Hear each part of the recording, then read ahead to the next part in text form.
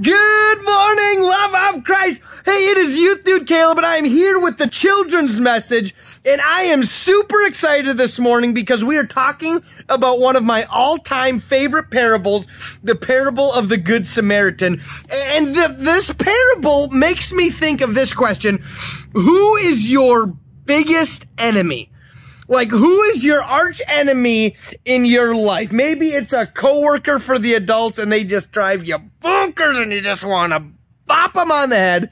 Maybe, maybe students, it's a, it's a friend at school or a bully at school who's just not very nice to you and you just don't like him very much.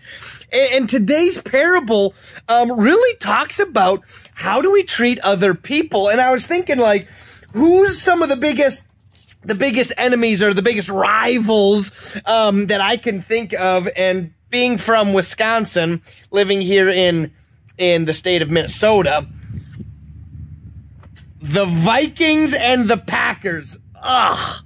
Ugh, the Vikings. Oh my goodness. Talk about arch enemy. I hate those guys.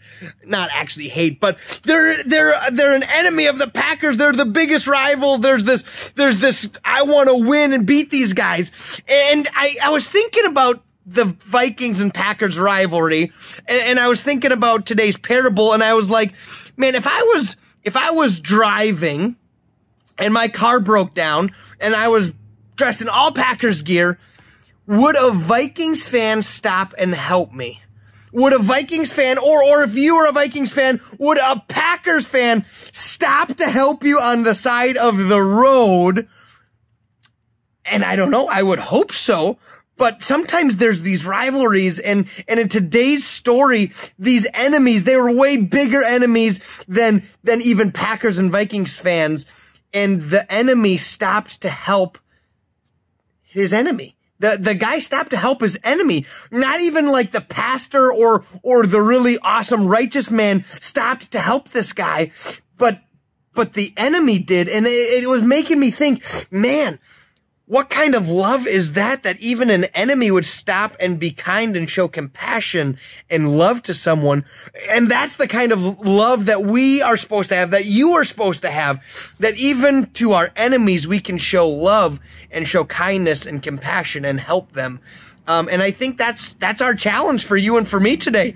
Is is who can you show love to, even if you don't like them, even if they drive you bonkers, even if you're angry at them, even if they're your arch enemy, we're called to still show people love. Can you guys pray with me, please? Dear Jesus, thank you for loving us. Thank you, Jesus, for, for dying on a cross for us. Even though we didn't deserve it, God, you still showed us that love and you set the perfect example of how to love those, even those who are our enemies. We love you, Jesus. And all God's people said, Amen. Have a great day, everybody. And remember, Go Pack Go! God bless. Jesus loves you. Bye.